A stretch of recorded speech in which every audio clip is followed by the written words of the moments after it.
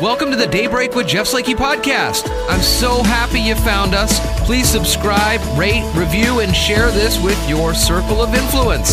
It's a collection of the interviews, news, and conversation during Daybreak with Jeff Slakey on iFiber One News Radio, KMAS, weekdays from 6 to 9.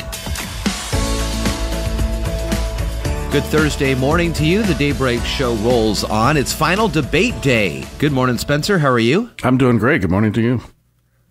Are you ready for your debate tonight? You know, I um, I think I may be busy doing something else. I have to look at my schedule. Oh yeah, uh, it says right here I'm busy. I'm not going to be able to partake. So busy doing anything else. Yes. Now, it'll be a big night tonight as it's the final matchup between President Trump and Vice President Biden. We'll have it here on the radio for you as we are less than two weeks away from Election Day. Today on the show, we're going to have a great conversation. It's kind of a two parter in a sense with the uh, city representation for the Mason County LEAD program, Law Enforcement Assisted Diversion Program.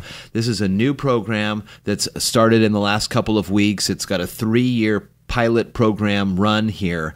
And the aim is to take folks who may be um, involved in low level crimes and before they get into the system and things like that there's an opportunity for them to go get counseling and help they need uh, to help them get on the right path. So today's conversation is uh, with lieutenant kostad from the police department for the city, uh, city manager Jeff Niten, and Jeffrey Bean-Mortinson from Olympic Health and Recovery Services to talk a little bit about this from the city perspective. Check out our website, iFiber One.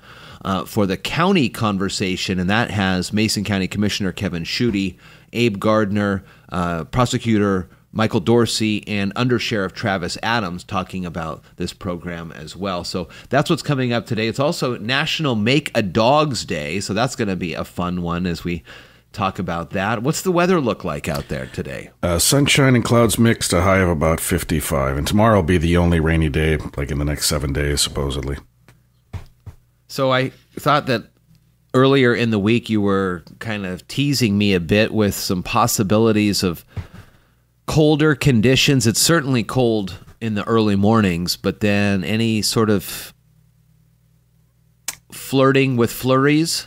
It looked like it uh, on Monday. It looked like this coming Monday. It's a slight chance of uh, snow showers in the morning, and now they're saying mostly sunny, and it doesn't look like it. So there's no no indications of any type of snow shower or anything else in the next seven days at least. Oh, thank goodness. Mason County Public Health notified of eight additional Mason County residents testing positive for COVID 19. There are currently 52 active cases. One is hospitalized in the county. We reported on the additional death yesterday, now, bringing the total to nine. And uh, that's the latest here. The Centers for Disease Control yesterday, Spencer, expanded its definition of who is considered a close contact of an infected individual.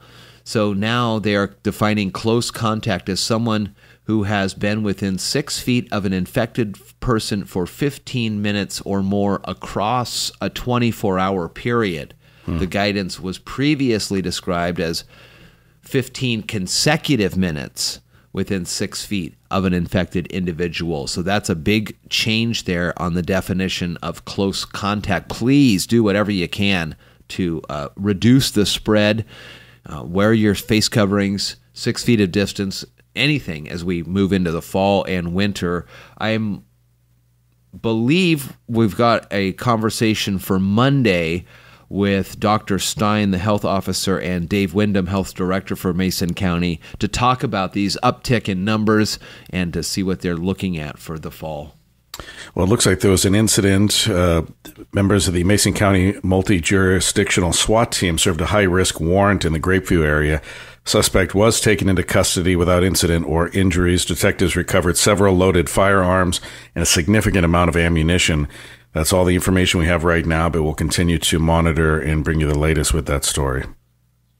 We just want to remind everybody that the Mason County Board of Commissioners were able to put some funds into the local PUDs for help. Mason County PUD number one received just shy of $50,000. Mason PUD three received $300,000. These are funds to assist Mason County uh, water and electric residential accounts uh, for PUD one, electric accounts for PUD three check out their websites. Uh, we've got an interview on our website, iFiber1 newsradio.com and our Facebook page. So share that with people within the county. It's a very important, and uh, if you've been impacted by COVID, this can help. Uh, COVID 19 related financial hardships, apply for this for your utilities. Lisa Frazier, the Mason County Treasurer, would like to let taxpayers know that there is no COVID 19 second half property tax due date extension. Second half property tax payments for the year 2020 are due on or before Monday, November 2nd. Uh, October 31st falls on a Saturday, as we've discussed this year. Delinquent interest of 1% will be charged on Tuesday, November 3rd. In person property tax payment transactions should be limited to only those transactions that cannot be handled alternatively such as cash. Taxpayers are strongly encouraged to use the following options for making their second half property tax payments driving up and using the property tax payment drop box, online, or over the phone or by mail. More information on the assessor's website for the county. Secretary of State Kim Wyman issued the following statement after federal intelligence officials held a brief announcement last night on interference in the upcoming election. Foreign adversaries are working around the clock to interfere in U.S. elections and undermine confidence in the electoral process. Despite the disinformation circulating from bad actors, uh, there has been no indication of compromise at the Office of Secretary of State within our election systems for the state of Washington as of yesterday, 25% of Washington voters have already returned their ballots for the upcoming election. Wyman encourages everybody who has not yet vote early and place it in an official ballot drop box. There's 10 around Mason County. Ballots returned by mail must be postmarked by election day. November 3rd. And again, we've got the big debate tonight. Uh, Spencer, what time? We're going to have our pregame show at, what, 5 and the debate's at 6? This is going to be a big one, final one here. Yes. Both candidates ready, you think? Yeah, you know, I think they're going to be as ready as they're going to be. And it's so odd to think that we are uh, now well under two weeks away from. Uh, this big election happening, but yeah, the yeah start time is six. We'll have kind of that pre-game show starting at five with analysis afterwards too. I noticed that uh, uh, the president, President Trump, is really ramping up his uh, rallies. I think he's been telling his aides that he wants to do maybe five rallies a day between now and election day to help to try to get out the vote there as he's looking, you know, for some of those key states that he was able to pick up last time around and hopefully keep him in the presidency, whereas uh, Vice President Biden is looking to flip back some of those states that perhaps may have gone to President Obama in those two elections and then flip to Trump. It's an exciting time here as we're really in the home stretch. I mean, you know, it's just amazing to think about when we started all this back in March. I mean, that was that was like seven months ago, Spencer. Mm-hmm. And how quickly it seems to have flown by with all of us becoming as accustomed as we can to this to this new normal. Yeah, I mean, I had a full head of hair, as you know. The listeners, some of me know, back in March, and then Yeah. all this happened, Yeah. and uh, I'm Lex Luthor now. I mean, the Yeah, you look like Stress of it Bozo the. Clown. Now So- you're Lex Luthor. boss of the clown. Wait, before or after? Which was the bozo? Pre-COVID Drop or post-COVID? The clown part, and you're good to go. You're right. All right, more daybreak coming up today. It's a National Make a Dog's Day, so we're going to have a fun conversation about that. I think I may repost on our Facebook page that fascinating in-depth conversation I had many years ago with our own Mr. February, Mr. Winston. That always brings a smile to my Oh, face. Oh yes. And then the remember that one. And then the lead conversation again from the city's perspective, the law enforcement assisted diversion program. Check out our website for the county side of that conversation. More daybreak coming up. From the iFiber One News Radio studios, you're listening to Daybreak. How's it going, everybody? Jeff Slakey from iFiber One, and we're continuing our conversations today about the Mason County Law Enforcement Assisted Diversion Program, LEAD. Uh, we talked a little bit of, with folks from the county. Uh, we're going to do some city conversations here today about this. City Manager Jeff Niten here uh, with us from Olympic Health and Recovery Services. Jason Bean-Mortinson is here, and then uh, Lieutenant Kostad is here from the Shelton Police Department. Let's start with you, Dave, and talk a little bit about this program and how you have uh, presented it to the fellow officers in the Shelton Police Department, and then what they do out and about when it comes to uh, the LEAD program. Initially, uh, when we started this program, um, uh, we were proposed with this uh, new referral process um, by Olympic Health and Recovery and Mason County Health.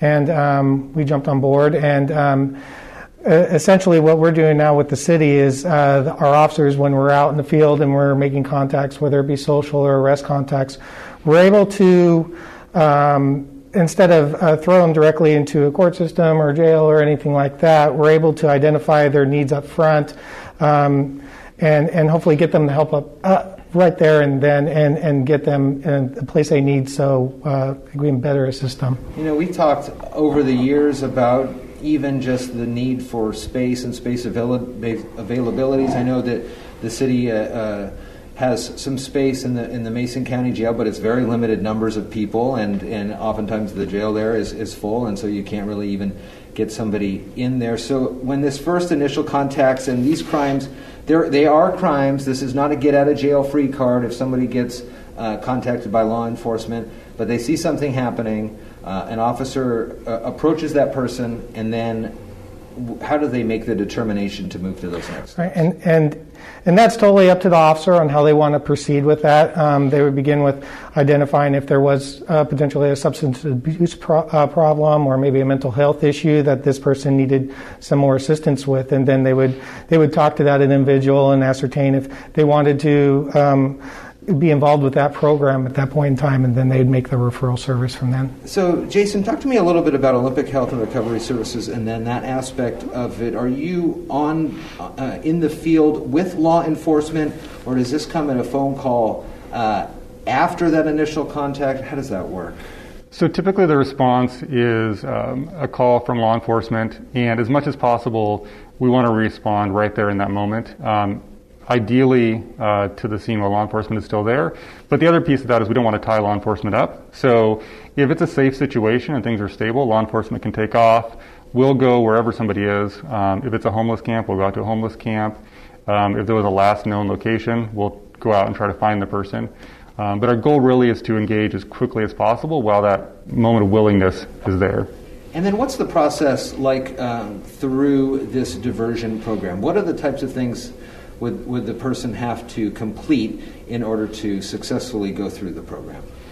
So we're, we're kind of taking a harm reduction approach. So they don't necessarily need to follow a, a strict compliance-based model like they might in like a drug court program or something like that.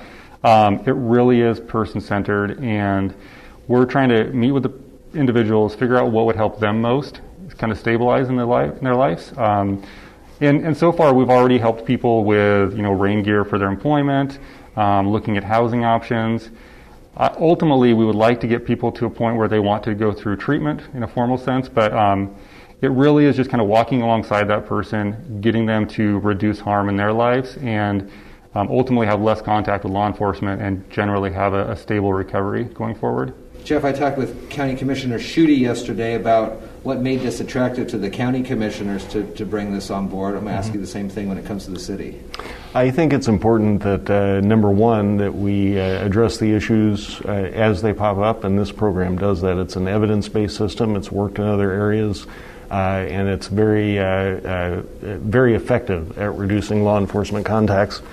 The other part uh, that makes it attractive is the collaboration, the community collaboration between Mason County, the Public Defender's Office, the uh, Mason County Prosecutor's Office, Sheriff's Department, our police department, and the city. I think it's a community based approach that we can help uh, friends and neighbors and other citizens of the uh, the Shelton Mason County community um, have better outcomes, uh, produce better outcomes for the people uh, that we're helping and the community itself. And Lieutenant, these aren't necessarily, um, it doesn't have to just be when you see a crime happening. There's other opportunities for folks to uh, be proactive in maybe uh, identifying a person who could be good for this. Absolutely. I mean, uh, the police department gets numerous calls a day, and not necessarily they're all crime related, um, assistance calls or whatever that be. And so, merely that those social contacts, we can derive referrals just from those if we identify a need for the system. And Jason, over the course of the last seven months or so, have you seen the, the needs uh, dramatically increase, kind of stay the same, or, or where where are we at in how COVID has played into a part of all this? Yeah, so generally across the system, there's been a lot of projections from the Department of Health and others about an increased need. And especially over the last, you know, two, three months, we've noticed an increase in needs, specifically in the crisis services system. Um, and this program specifically could help address some of that crisis need as well. Um, but yeah, there, there's an increased need for behavioral services right now for sure.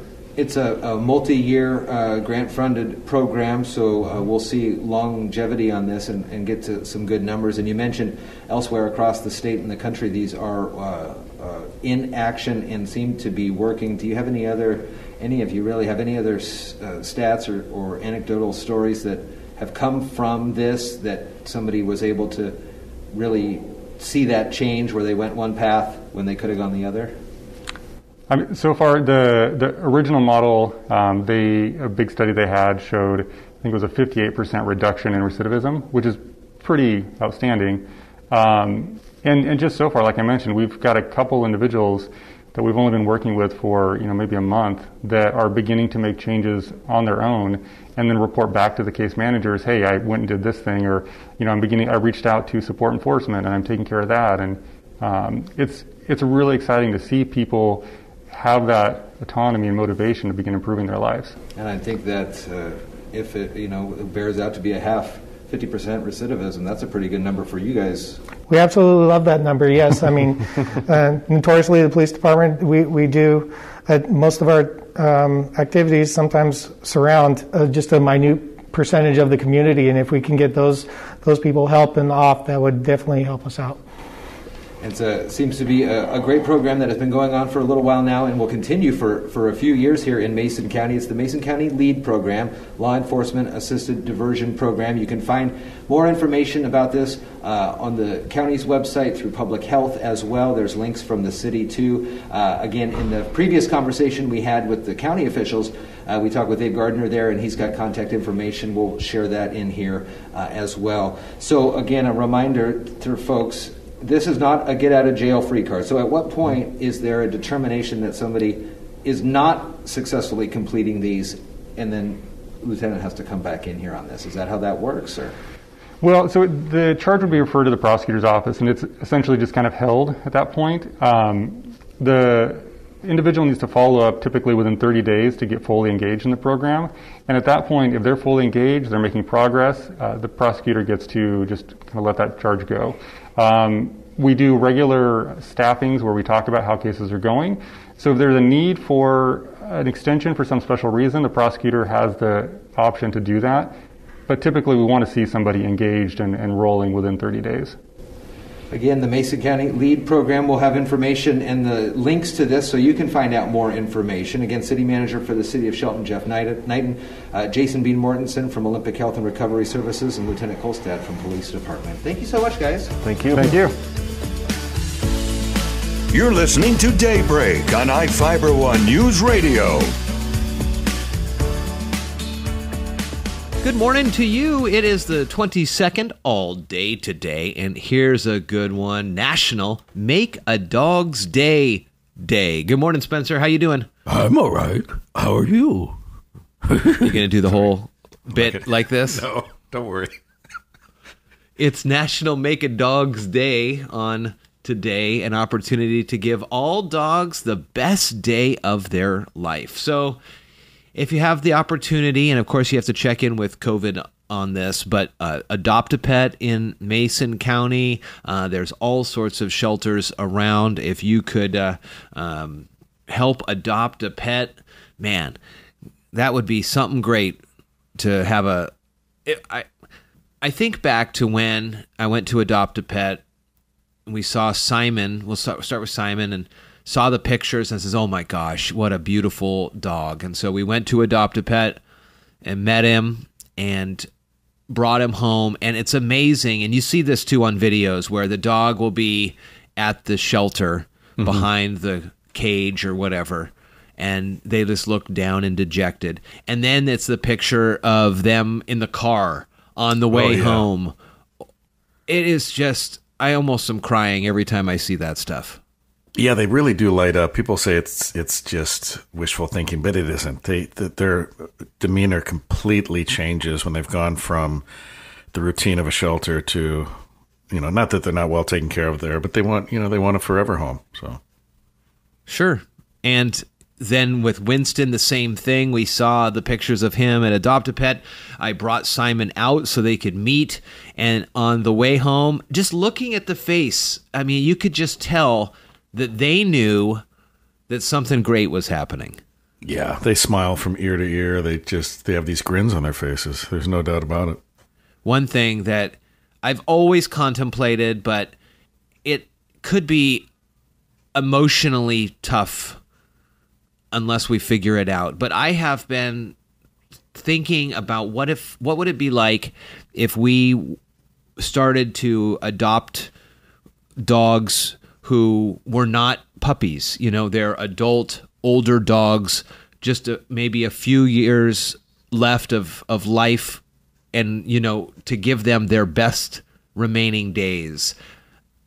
I think that would be powerful and rewarding. It would also be emotionally, um, there'd be a toll on that, don't you think?